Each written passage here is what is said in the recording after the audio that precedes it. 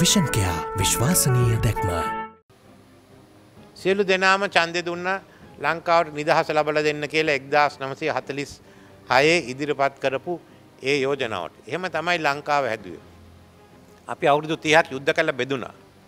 බෙදුනා කියන්නේ උතුරේ බෙදුනා විතර නෙමෙයි අන්තිමට දකුණෙත් යුද්ධයක් තිබුණා. ඉතින් දැන් මේව එකතු කරගෙන යන්න ඕනේ. අපි ඉදිරියට ඒ ගමන ගෙනියන්න ඕනේ. ඒක යන විශාල වැඩ කොටසක් තමයි මනෝ ගණේෂන් මහත්මයා කරන්නේ. ඒක අපිට ප්‍රසිද්ධියේ පෙනෙන්නේ නැහැ. අපි පාරක් හැදුවොත් ඒක පෙනෙනවා. ගොඩ නැගිල්ලක් හැදුවොත් ඒක අපිට පේනවා. කර්මාන්ත ශාලාවක් හැදුවොත් එතන රැකියා දෙනවා. මෙතන ඒ වගේ පෙනෙන ගොඩ නැගිලි නෙමෙයි තියෙන්නේ. එහෙම පෙනෙන පාරක් නෙමෙයි මෙතන තියෙන්නේ.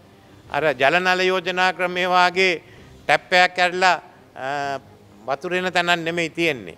ඒත් මේ ඔක්කොම මෙතන නොපෙනුනට මෙතන තියෙන්නේ ශ්‍රී ලාංකික අනන්‍යතාවය එකමුතු කරගන්න.